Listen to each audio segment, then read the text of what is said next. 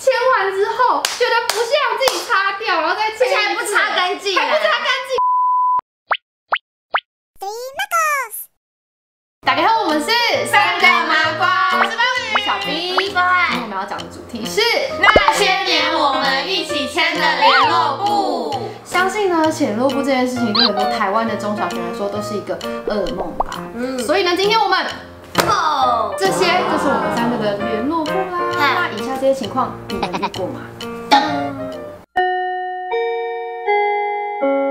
流水账代表，流水来为我们示范一下什么叫做流水账。今天中来我们家玩，我们先写一些功课，再玩一下 PS 2，因为我忘了带游戏片，就去找。我们找到了很多，而且很好玩，还有运动的。后来直接上完补习班，我们就一起去吃饭，还要请中。超好玩就去朋友家玩电脑，结果朋友的电脑中毒了不能玩，所以就玩别的，玩到很晚才回家，睡觉睡觉，就是累死。老师这边给的评语就写说，可选择最重要的写，不计流水账，小计会更精彩。今天我和姐姐去朋友家玩大富翁，一开始都是他们钱最多，土地也最多，但最后他们一直踩到我的土地给我钱，所以我就反败为胜了。后来我们还玩了一下电脑和 PS 2，就回去了。今天把我累坏了。你也听得累坏了。我我有点累坏了。今天妈妈去接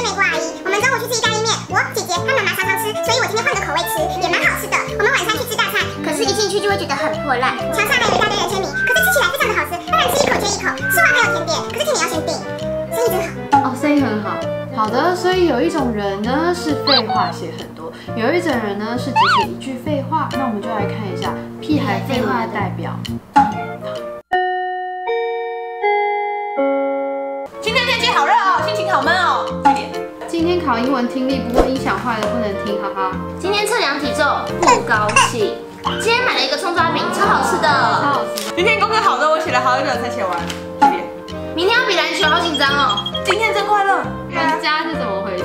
你看，我要么是一句废话，要么是写很多废话，我不知道哪个比较好。写很多废话比较好。没有那么浪费墨水。当你们老师都很辛苦了。来，我们来看下一个。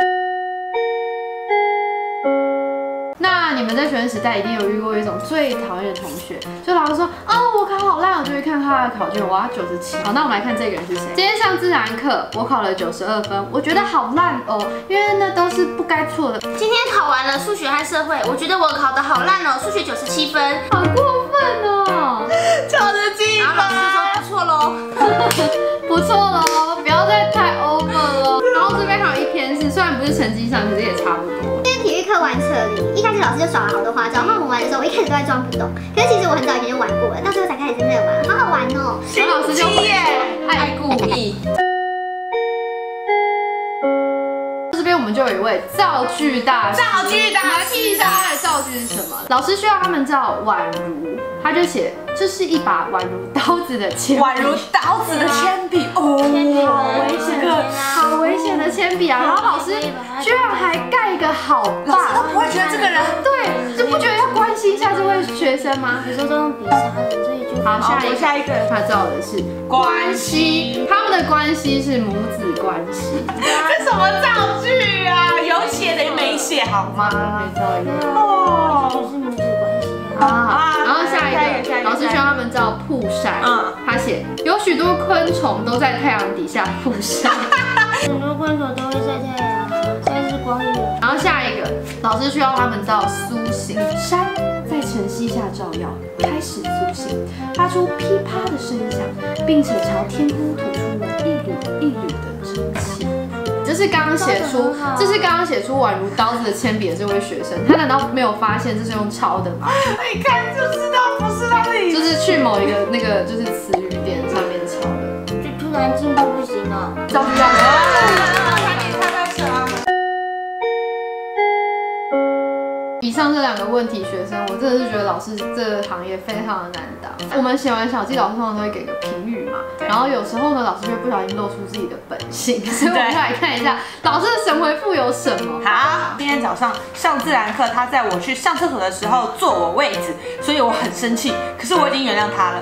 然后老师就回：坐你位置就生气，你真是（括号爱生气到底为什么？为什么不能坐你位置？你有洁癖吗）。？没有啊，好，再来，今天真快乐五个字。老师回说，快乐到不知道要写什么，是吗？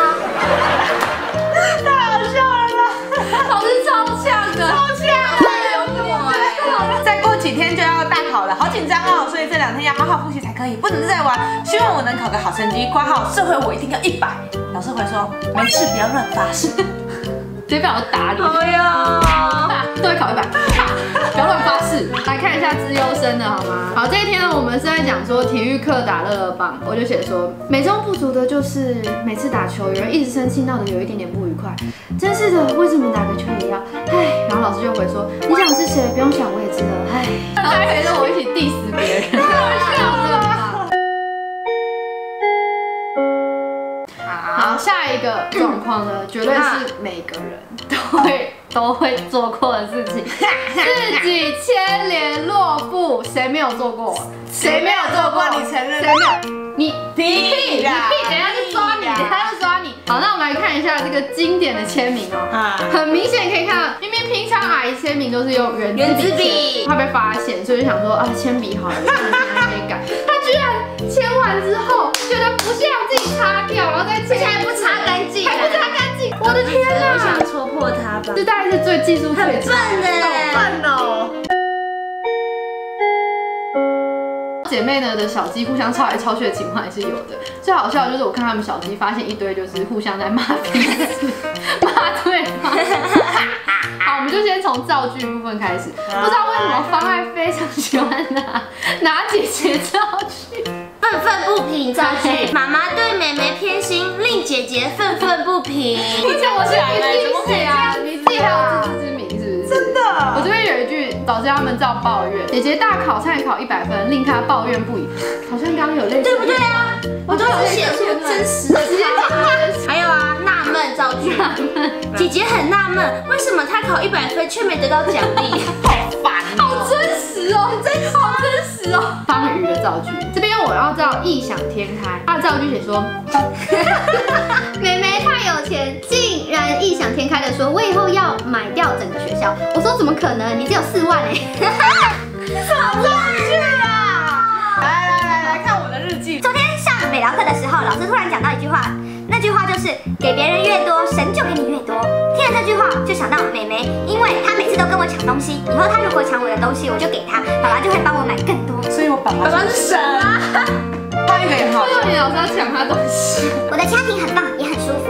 可是有一个烦人的妹妹，她不只是烦，也很调皮。每天她一定都会欺负我或打我，我真的快受不了了。我好不想要这个妹妹哦，可是不行，不要，因为她还是我的妹妹。哇，还是有自自觉，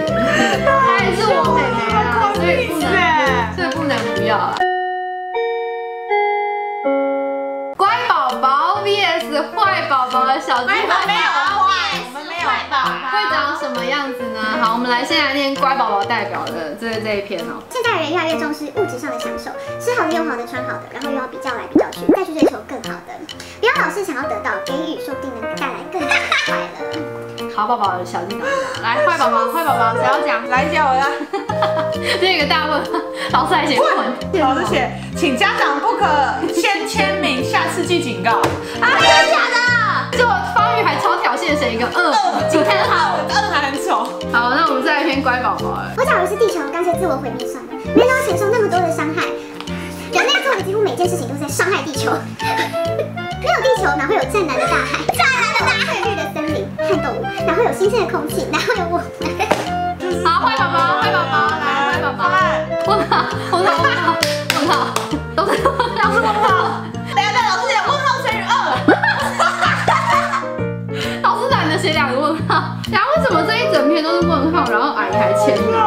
阿姨是都不会看你的小鸡啊。哎，对，为什么这我签的啊。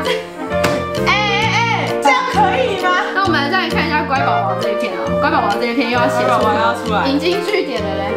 我觉得大海就像是一位魔术师，也像一个双面人。大海有时是让人畏惧的，深不可测；而每每浪淘打在岸上时，就好像正在怒涛。大海有时是让人感动的，像万种生物在他怀里孕育；而每当夕阳落下，